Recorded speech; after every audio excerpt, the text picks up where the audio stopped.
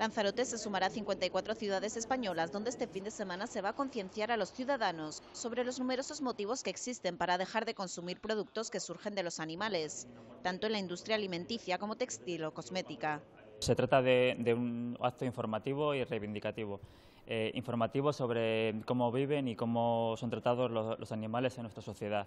y reivindicativo de cómo podemos eh, llevar un estilo de vida eh, que no implique explotación y maltrato hacia ellos. Eh, se trata, mm, en pocas palabras, de dar voz a los que no la tienen, porque los animales mm, no se pueden quejar, entonces eh, son los grandes olvidados de nuestra sociedad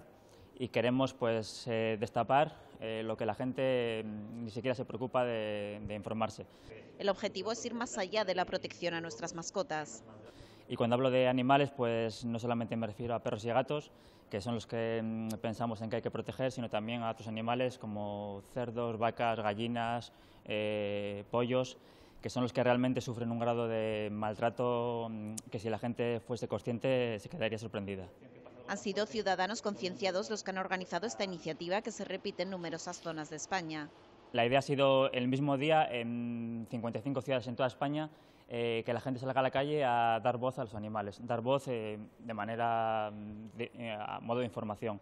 entonces mm, se, trata de informar cómo puedes vivir siendo vegano, que significa mm, no utilizar animales en ningún ámbito de tu vida explotándolos, pues tanto en una dieta, que es lo que la gente